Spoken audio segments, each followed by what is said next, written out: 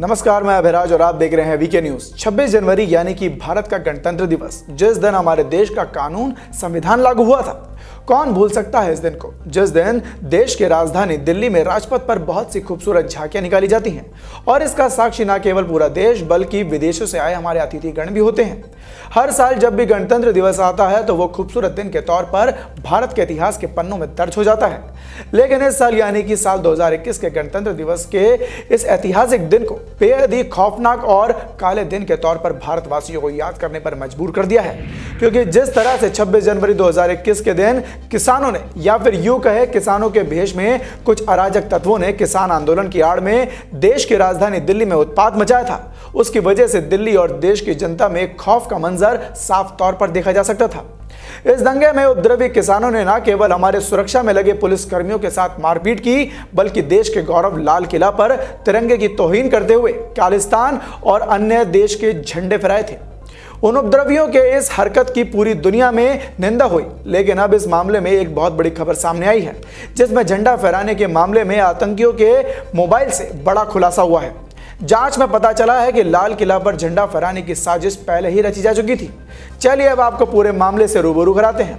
दरअसल दिल्ली पुलिस की special cell ने बब्बर खालसा इंटरनेशनल के दो आतंकियों को सितंबर 2020 में गिरफ़्तार किया था, जिसके बाद अब स्पेशल सेल ने यूएपीए के तहत पटियाला हाउस कोर्ट में चार्जशीट फ़ाइल की है। इन आतंकियों का नाम है भूपेंद्र सिंह और कुलवंत सिंह। सूत्रों से मिली जानकारी के मुताबिक ये दोनों आतंकी कैनेडा, बेल्जियम और पाकिस्तान में बैठे अपने आकाओं के संपर्क में थे। दोनों आतंकी हमेशा जब फ़ोन या आपस में बात करते थे तो वो कोड वर्ड का इस्तेमाल करते थे, जिसमें हथियारों को वो मेडिसिन बोलते थे। दिल्ली पुलिस ने जब इनके मोबाइल की जाँच की तो उसमें एक लाख से भी ज़्यादा ऐसे पेज और फ़ोटोज़ मिले जो आपत्तिजनक है।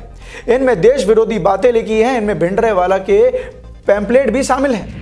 आतंकियों के पास से दिल्ली पुलिस को एक ऐसा पेज मिला, जिसमें लिखा है कि 3 सितंबर 2020 में इन लोगों ने पंजाब के रायकोट में तहसील की सरकार बिल्डिंग पर खालिस्तान का झंडा फहराया था। उसका वीडियो बनाकर कनाडा और बेल्जियम और पाकिस्तान भी भेजा था। इसमें सबसे चौंकाने वाली बात तो यह है कि बरामद डॉक्यूमेंट्स में दे लिखा हुआ यह भी मिला है कि आने वाले दिन में अगर मौका मिला तो वो लाल किले पर भी झंडा फहराएँगे, जैसे हमने रायकोट में फहराया था। ये लोग सिख फॉर जस्टिस और पीजेएफ में संपर्क में भी थे। बता दें, ये दोनों आतंकी जब दिल्ली में सितंबर 2020 में हथियार लेने आए थे, तब इनको पुलिस ने गिरफ़्तार कर लिया था।